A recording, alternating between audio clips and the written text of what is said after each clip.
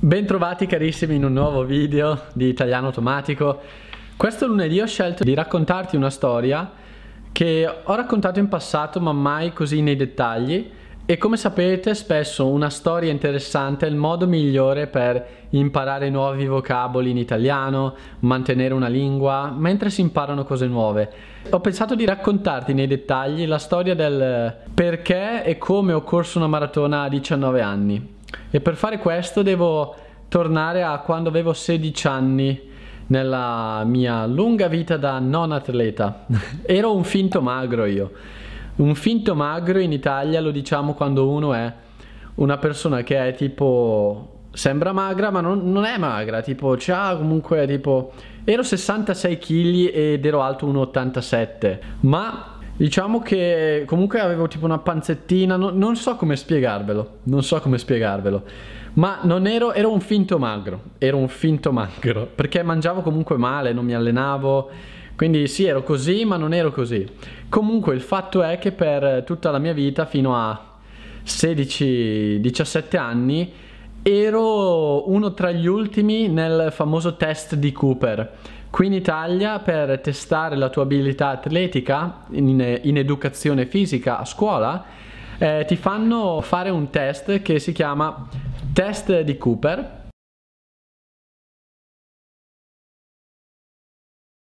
E praticamente era 12 giri di un campo, quello che mi ricordo.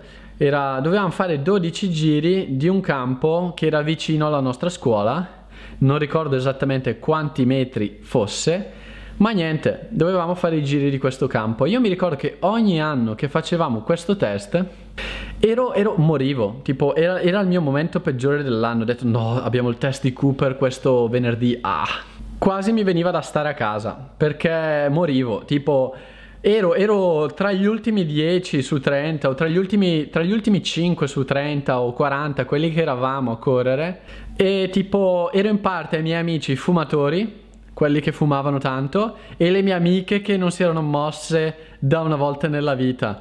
E io spesso ero lì tipo che dai che ce l'ho no non, po non, posso farmi ero lì che pensavo no non posso farmi superare da questo mio amico che fuma 20 sigarette al giorno. No no, non posso, hai i polmoni bruciati, io no. Eppure ero, ero, ero meno allenato di, di lui e, e, non so come, non so come era possibile. Eh, però ecco, magari mangiare 20 cioccolatini in un giorno non mi aiutava, quello è vero. E, insomma, mangiavo veramente male. E, e arrivavo a questo test di Cooper che ero morto, ero distrutto e lo finivo tra gli ultimi ed ero triste perché dicevo cavolo, non è possibile che faccio così schifo. Questa è una delle cose che mi ha portato a 16 anni a prendere in mano il mio primo libro appunto per capire un po' più di, su me stesso, come migliorare in vari ambiti, non solo mentalmente ma anche fisicamente, spiritualmente, con le ragazze, con tutto. E niente, facevo schifo a correre, in sostanza questo è l'obiettivo del messaggio di, di questa parte della storia. Quindi eh, verso i 17 anni, 18 anni, avevo cominciato a correre un po' perché anche giocavo a calcio e vedevo che avevo bisogno di correre di più e quindi avevo cominciato a correre un po' sul fiume vicino a casa mia per allenare un po' il mio fiato. E ho visto appunto che ero messo proprio male. Ero messo proprio male e quindi ho cominciato a pensare, a leggere libri su motivazione, eccetera, e alcuni libri parlavano di anche correre, superare i propri limiti. E, e ho sempre pensato com'è possibile che una persona possa correre 42 km senza fermarsi. Io non riesco a camminare 5 km senza fermarmi. Sto parlando di quando avevo 15 anni, 14 anni, 16 anni. E ho detto, cavolo, una roba pazzesca. E quindi è cominciata a nascere nella mia testa l'idea di dire, cavolo, sarà che un giorno potrei correre una maratona? Beh. Solo che era così fuori dalla mia realtà che era un pensiero che era lì e poi dicevo, ma... E a 18 anni questo pensiero è diventato sempre più forte perché avevo letto anche il libro di uno eh, che si chiamava Dean Carnazis che era un ultra, un ultramaratoneta ovvero correva ultramaratone di 100 più chilometri, 200 chilometri Puoi anche passare senza dire nulla se non ti, se non ti dà fastidio essere in pigiama nei video. Eh. Ada Bettina Ragazzi, Bettina si è alzata perché è passata Isa e lei quando passa Isa è lì che guarda e dice Eh, dov'è la mia padroncina? Bettina? Oi Bettina Niente, continuo, mi ero dimenticato che c'era qua Bettina eh, Niente, comunque Stava dicendo, eh, di Incarnasis era un ultramaratoneta e cominciavo a pensare, cavolo, sto leggendo tutti questi libri, sto iniziando a lavorare online, creare video, imparare più lingue, De- devo, devo, superare questa barriera che ho in testa fisica. E ho detto, cavolo, sarà che mi metto l'obiettivo di correre una maratona? E mi ero messo l'obiettivo con un amico di dire, dai, tra sei mesi corriamo una maratona. E io a quel punto stavo correndo 3 km, 4 km, 6 massimo. Ho detto, vai, mi metto l'obiettivo. Barcellona, tipo primavera del 2000. Primavera del 2000, non mi ricordo più che anno era. 2014 forse, sì. Deve essere stato l'anno 2014, primavera del 2014, vai, corro una maratona. E me lo sono messo questo obiettivo nel 2013 quindi non ero assolutamente preparato e me l'ero messo con un amico. Fatto sta che questo amico dopo mi ha anche abbandonato nell'obiettivo, quindi non dirò il nome di questo amico, ma eh, mi ha abbandonato nell'obiettivo, ha cambiato idea, non lo so, e io sono uno che quando si mette un obiettivo lo dice agli altri, non mollo, tipo è difficile che io molli, eh, deve succedere qualcosa di grave o io proprio cambiare idea di un valore per io dire no, non lo faccio più. Eh, quindi l'avevo detto alla mia famiglia, l'avevo detto ai miei amici, l'avevo annunciato su internet, mi ero messo questo obiettivo, ho detto non mi importa se mi ha mollato il mio amico, andrò da solo a Barcellona, eh, è una maratona dove cor- corrono 20.000 atleti e andrò là da solo e corro e non è un problema, vado da solo. E quindi ho cominciato questo allenamento 3-4 volte a settimana, correvo 5 km, 10 km, 15, 20 km, 10, 5, 10, 5, 5, 6, 3 eh, insomma, ho seguito un allenamento automatico che era stato fatto da un'app per essere pronto per la primavera 2014. E niente, eh, perché è importante mettersi obiettivi così? È importante, e, e vi racconterò adesso dopo eh, com'è stata la maratona, ma è importante mettersi un obiettivo così perché tu hai delle barriere nel tuo cervello che tu ti sei creato legate a ciò che tu pensi di poter fare, che sono tutte barriere che tu hai creato. Ness- o altri per te hanno creato, tipo la tua famiglia, i tuoi amici ti hanno detto che non puoi fare certe cose. Se tu capisci che questa barriera è una cosa che tu hai creato, perché nulla mi vieta, Alberto, che fa schifo a correre ultimo nel test di Cooper per dieci anni di fila, nulla mi vieta di allenarmi a correre un chilometro, poi due chilometri, poi tre chilometri, poi quattro, poi cinque, poi sei, poi sette, poi otto, fino ad arrivare a 42. Non c'è nessun limite umano fisico che mi impedisce di correre senza fermarmi per 42 km. Il limite è nella testa. Quando ho capito quello ho detto è importantissimo per me togliere questo limite nella mia testa, perché è un limite inventato e ogni volta che tu riesci a toglierti limiti di questo tipo, capisci che questi limiti sono anche uguali nel lavoro, sono uguali per imparare nuove lingue, o imparare l'italiano nel tuo caso, o uguali nel cercare una persona meravigliosa che sposi nella tua vita. E insomma, qualsiasi sia il limite, è tutto nella tua testa. Quando ho capito questo è diventata un'ossessione per me allenarmi per togliermi questo limite della corsa, del io non saper correre. Adesso odio correre, non corro più adesso, mi alleno in un altro modo, mi... ma l'ho fatto proprio per togliermi questo limite, ok? Quindi eh, nell'allenamento che portava la maratona mi faceva male tutto ovviamente, mi facevo male al piede, eh, tutte, tutte, cose che non esistevano questi problemi nella mia vita prima, tipo correndo 3 km, tipo avere le mutande sbagliate se corri 15 km o 20 ti, ti, ti, taglia le gambe praticamente, mi lasciava proprio i segni di, di sangue anche ai piedi, ho, ho, dovuto cambiare scarpe, la maglietta, ho dovuto cambiare maglietta perché la mia maglietta continuando a correre così nel tempo dopo 15-20 km ti, ti, fa proprio male, eh, ho dovuto mettere mettere borotalco sotto le ascelle perché sfregare le ascelle e i peli anche ti faceva diventare tutto rosso, irritato, insomma, problemi che non esistevano eh, appaiono quando ti cerchi di superare i tuoi limiti fisici. Niente, arriva il giorno della maratona che io non avevo mai corso 42 km di fila, perché negli allenamenti per una maratona eh, non corri mai 43 km se sei come me all'inizio. Come fanno a farti allenare? Ti fanno fare 25 km più il giorno dopo 12, insomma. Eh, arrivi magari a fare 26 km e poi 15 il giorno dopo per simulare la maratona ma sarebbe stato così faticoso per me mara- fare una maratona di allenamento che poi avrei dovuto riposare per una settimana e non potevo. Quindi simulavo in questo modo la lunghezza della maratona. Quindi sono arrivato il giorno della maratona che io non sapevo se il mio fisico poteva arrivare a 43 km senza fermarmi, perché il mio obiettivo non era neanche arrivare correndo al massimo tutta la maratona, no, era arrivare alla fine senza fermarmi, senza mai fermarmi, tipo anche se è una, una corsia lentissima o insomma l'importante era mettere una gamba dopo l'altra per finire questi 43 km sotto le tipo 6 ore che è un orario orribile, è tipo uno degli orari peggiori, ma era finirla sotto le 6 ore e chi corre maratone sa che un orario buono è 3 ore, 3 ore e mezzo, quello è già un orario buono. Il mio no era finire sotto le 6 ore. E niente, comincio a correre e sapevo che potevo arrivare ai 20 senza fermarmi, è andato tutto bene fino ai 20, tutto bene fino ai 25 km.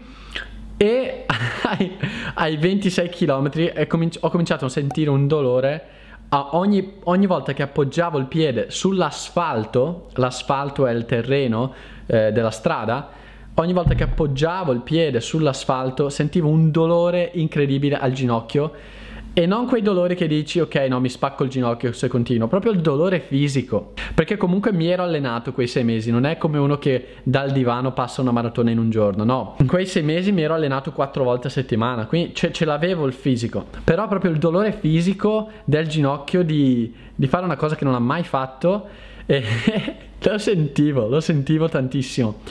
E, e niente però ecco, c'era quella cosa nella mia testa che mi diceva no, non fermarti perché questo significherà per la tua vita qualcosa che va al di là della maratona. Aggiungerai una fiducia in te stesso che chi non fa cose di questo tipo ha difficoltà a capire. Quando tu riesci a superare i tuoi limiti in questo modo, eh, praticamente cominci a creare una corazza, una, una, uno scudo eh, in te come persona che ti protegge nei momenti in cui tu stai inseguendo un sogno, ti protegge contro i pareri, le opinioni negative degli altri, le critiche che puoi ricevere essendo esposto online, essendo sensibile. Io sono una persona molto sensibile, lo sono sempre stata e non voglio eliminare la mia sensibilità, voglio tenere la mia sensibilità che mi aiuta a essere un buon amico, una buona persona con cui lavorare, un buon marito e spero in futuro un buon padre e quindi voglio tenere questa sensibilità, un buon nipote, ma eh, avendo anche una corazza di fiducia in me stesso che sia pronta quando mi arrivano attacchi da, da amici, familiari o sconosciuti che vanno contro i miei sogni, come, come, mi è successo in vari momenti della mia vita, quando ho dovuto fare una scelta che era contro tutto ciò che mi dicevano gli altri e che non aveva senso in quel momento. Eh, come vi dico spesso, la mia idea era cambiare il mondo delle lingue fuori dall'università eh, online e, quando ho iniziato nel 2011-2012 eh, il mondo online era visto ancora come un, un, hobby, un gioco, cioè non era una cosa di dire puoi fare una carriera vera online. No, lo fai eh, così per divertimento e poi vai all'università. Invece io credevo molto nel fatto che se io studiavo bene fuori dall'università e imparavo perché amavo studiare e poi portavo queste conoscenze eh, qui su internet, ho sempre pensato che Cosa cambia insegnare dal vivo, cioè in persona o in università o qui? Nulla, cioè nel senso siamo sempre una persona che parla e una persona che ascolta, tu dall'altro lato.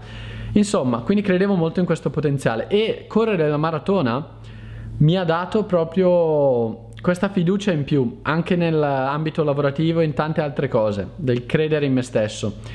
Quindi ero arrivato al chilometro 26 proprio che c'era questa barriera nella mia testa, ogni passo era una sfida. E però vado avanti un passo alla volta, un passo alla volta. E ho anche fatto vedere dei video in passato appunto di queste scene dove ero lì io tutto sudato con eh, la maglietta che era incrost- appiccicata su di me talmente il sudore, il sole e avevo iniziato la maratona con un cappello, ho finito la maratona senza il cappello perché eh, tipo dopo alcuni chilometri c'è stato un colpo di vento e il cappello è volato indietro. Mi sono girato a guardare e ho detto no, io non torno indietro a prendere il cappello. Ho fatto così, ciao cappello, è stato un piacere averti nella mia vita non perderò questi 10 metri per riprenderti. Fortunatamente era un cappello non di marca, sarà costato non so quanto, 10 euro. Eh, non so nemmeno come l'avevo avuto quel cappello, ma non mi importava il cappello in quel momento. E quindi sono andato avanti, sono andato avanti, sono arrivato tipo quasi alla fine, pensavo di essere quasi alla fine e vedevo le persone in giro, eh, perché correvi e vedevi le persone sui giardini, cioè diciamo nei parchi di Barcellona e mm, che i turisti che camminavano e io pensavo quanto sarebbe bello essere in questo momento un turista sdraiato lì nel parco con la mia ragazza, non avevo una ragazza ma con la mia ragazza immaginaria a mangiare qualcosa di fresco, prendere il sole all'ombra e quindi pensa- pensavo queste cose, mi guardavo in giro e, e, ho detto perché mi sono fatto questo a me stesso, lo so, so perché, ma perché? Perché Alberto sei così? Non puoi fare come gli altri e dire ah questa è una pazzia e, e quindi non ha senso. no, per me era importante farlo, quindi sono andato avanti, andato avanti, andato avanti, pensavo di essere quasi alla fine perché c'erano eh, le cose, sapete quelle cose alla fine di una corsa, tipo che passano sopra di te? E dici cavolo ci siamo, questo è il traguardo, sto arrivando alla fine.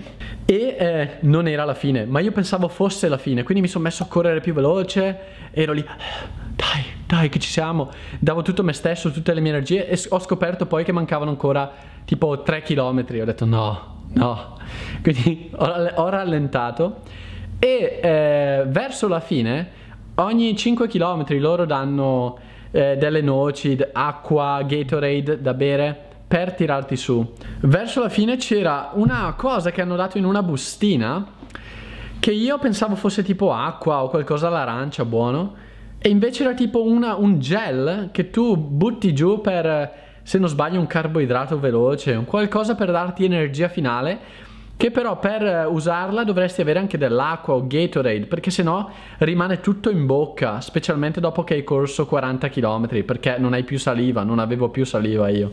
Ero lì proprio sfinito. E quindi io lo prendo lo metto in bocca e sento no no non ho preso, non ho preso Gatorade e l'acqua ho preso solo sta roba l'ho sparata in bocca L'ho, l'ho, lanciato via perché lì puoi lanciare le cose per terra ovviamente perché ci sono le persone che poi puliscono. E l'ho lanciato però mi è rimasto in bocca tutto questo gel quindi mancavano 3 km avevo le ginocchia distrutte c'era il sole di Barcellona che comunque era già primavera faceva caldo. E io avevo in bocca questa cosa e ho detto no, adesso non posso mollare adesso, dopo tutto quello che ho fatto, dopo tutta la mia vita che sono stato insicuro comunque come persona, questo è una cosa troppo importante per me per abbandonare ora. Quindi niente, la, me lo tiro via dalla bocca, lascio quello che c'è in bocca, rimane lì e continuo gli ultimi due chilometri. Poi arriva davvero il traguardo e faccio tipo uno sprint, pensavo di fare uno sprint, uno scatto di corsa. In realtà ho guardato il video dopo e non era uno sprint, era tipo una era tipo una camminata veloce, ma che per me in quel momento sembrava uno, uno scatto perché ero morto, ma comunque l'intenzione era di dare quel colpo finale negli ultimi 100 metri per finire e celebrare. E, e niente, la storia continua con il fatto di eh, avrei dovuto vedere mia mamma all'arrivo perché alla fine in quel viaggio mi ha accompagnato mia zia, mia cugina e mia mamma.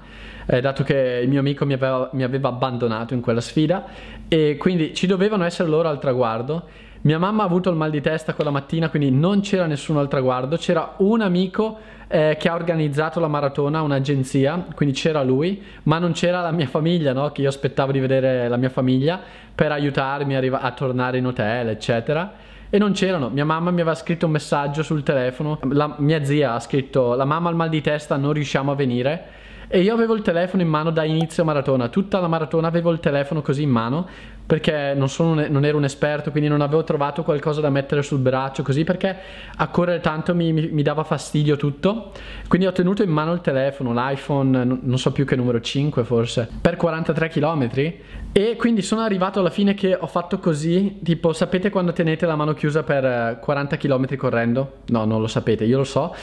ho fatto così per aprire la mano e mi faceva male la mano. L'iPhone aveva 5% di batteria e avevo solo 20 euro che avevo messo in un taschino eh, dei pantaloncini da corsa di emergenza per tornare eventualmente in hotel. Quindi avevo l'iPhone scarico, 20 euro nelle mutande e avevo appena corso 43 km. Quindi sono andato così per arrivare tipo alla strada principale, chiamare un taxi e mi sono lanciato nel taxi perché non, non potevo piegare le gambe e gli ho detto mi porti all'hotel, non sapevo nemmeno il nome dell'hotel ma mi ricordavo metà nome, lui mi fa ok sì sì, eh, gli ho detto por favor, eh, quiero ir in este hotel. E lui mi dà eh, ah está bien, vámonos, vámonos. E io ho detto bueno, gracias. E niente andiamo, arrivo, arrivo in hotel davanti, non riesco a scendere dal taxi ma mi butto giù dal taxi, lo pago e, e, niente, questa è un po' la storia generale della, della corsa. Ciao ragazzi, anch'io come Alberto ho corso una maratona, io però a Valencia, sempre in territorio spagnolo, nel 2015, sono quindi già passati quasi 5 anni e quando ho saputo che Alberto voleva fare un video sulla maratona, su questa esperienza, gli ho chiesto se potevo aggiungere anche io il mio punto di vista e quindi oggi voglio condividere con voi tre lezioni che ho imparato dalla maratona. La prima lezione, molto importante, che mi ha dato la maratona è stata quella di farmi capire quanto abbiamo bisogno degli altri per migliorare.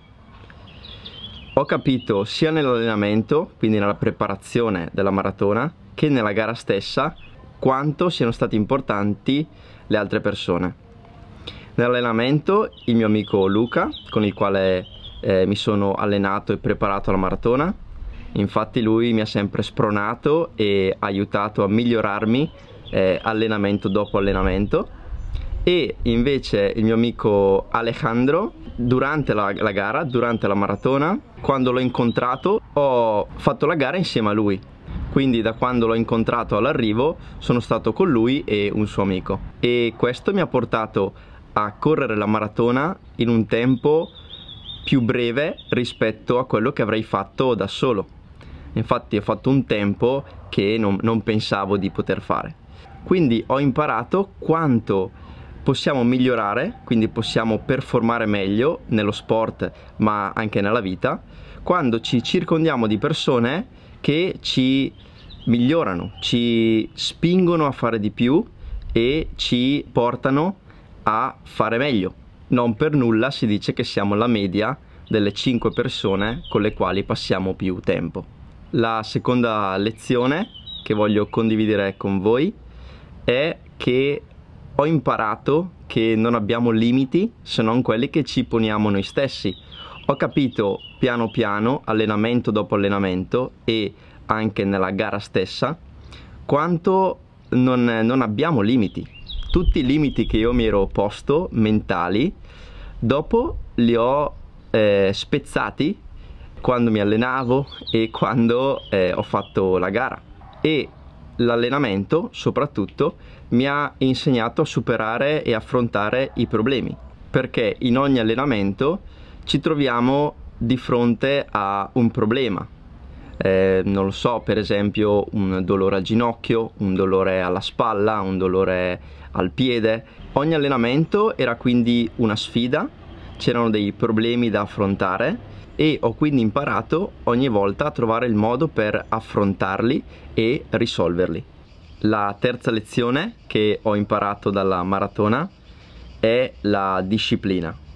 Ovviamente l'allenamento per la maratona mi ha aiutato tantissimo ad allenare la mia disciplina, mi ha insegnato ad avere il controllo sul mio corpo, perché potete immaginare quando dovevo uscire a correre e a fare 20-30 km, molte volte anche da solo, il mio corpo mi diceva no, non uscire, stai qui. E però dovevo prendere il controllo e dire per raggiungere il mio obiettivo devo fare questi allenamenti e quindi prendevo il controllo sul mio corpo e facevo quello che eh, avevo programmato, quello che dovevo fare. E la disciplina è importantissimo allenarla e l'ho capito quando vogliamo raggiungere degli obiettivi grandi o quando la vita ci presenta dei problemi. Eh, solitamente cosa, cosa facciamo? Quando abbiamo dei problemi vogliamo non vogliamo affrontarli, vogliamo scappare, vogliamo evitarli, ma sappiamo bene che l'unica cosa per superarli è affrontarli. E questo la maratona, l'allenamento in generale per la maratona me l'ha insegnato bene. E concludo qui oggi dicendovi che eh, perché è importante fare cose di questo tipo, che magari agli occhi degli altri sono pazzie, che non ha senso fare magari. È importante perché abbiamo solo una vita e se hai un limite che ti stai creando da solo nella tua testa, come magari lo era per me di non essere bravo negli sport, non essere bravo a correre, devi assolutamente con urgenza eh, distruggerlo proprio, eliminarlo, perché molte cose che puoi fare nella tua vita non le farai se non togli questo limite che hai e quello che c'è dall'altro lato è così bello, è così di valore, è così importante che non puoi permetterti di tenere questi limiti ok? E per me, come ho detto, questo era uno, eh, la corsa, lo sport. E ho continuato poi negli anni a fare diverse cose per eliminare questi limiti che avevo. Quindi ragazzi, ogni cosa che fai di questo tipo ovviamente ti aiuta anche a credere di più in te stesso, quindi questo è importantissimo. Io ti saluto, guarda più volte questo audio se ti è piaciuto per influenzare positivamente anche il tuo modo di vedere i tuoi limiti mentre migliori il tuo italiano. Noi ci vediamo in un prossimo video e in tanti progetti futuri che stiamo preparando come il corso in cucina con mia mamma, eh, una membership per il 2021 e tante altre piccole cose su cui sto lavorando. Ti mando un abbraccio fortissimo, ci sentiamo nel prossimo video e a presto.